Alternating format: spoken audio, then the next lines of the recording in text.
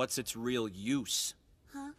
We could talk all day about why this and why that, but what does it actually accomplish for us? I'm asking you what tangible benefit humanity gets from magic. Look at the field of medicine. It saves people when they're sick. Real, practical use on a massive scale. That's true for agriculture and architecture. But what about magic? Is it just me, or does magic not do crap for people?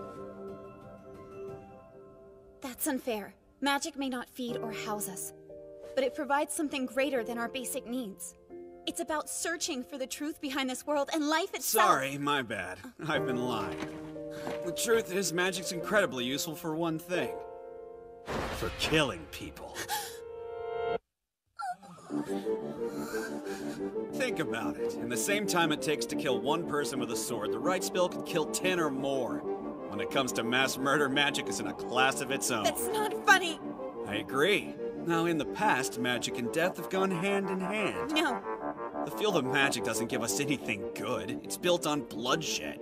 that's not what magic is about. What are you kids thinking? Open your eyes! You come here every day to study an art that's only useful for causing death and suffering. Instead of devoting your life to something so wretched, why don't you do something good?